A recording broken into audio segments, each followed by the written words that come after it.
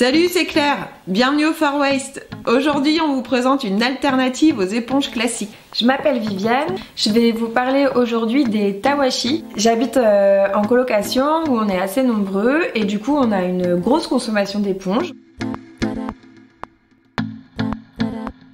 J'ai trouvé euh, cette technique des Tawashi et qui m'a semblé être une bonne alternative euh, aux éponges.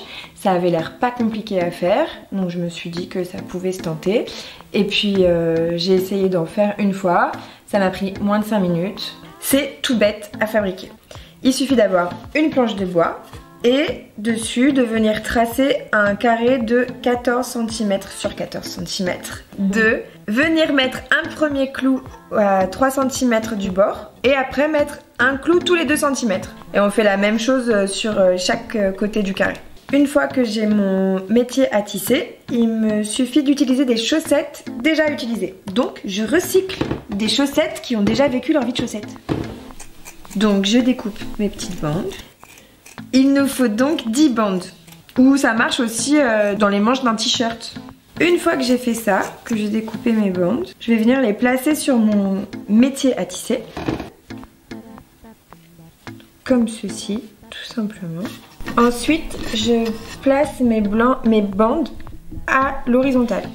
Donc je fais une au-dessus, une en dessous, une au-dessus, une en dessous et une au-dessus.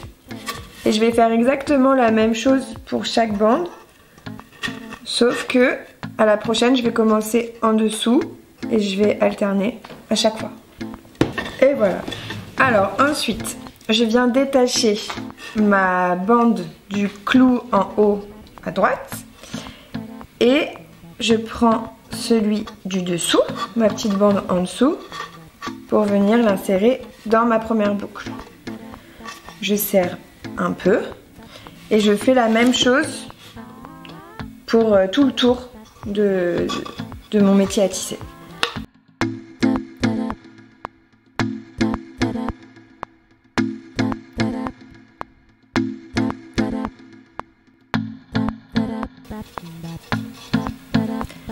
Et voilà.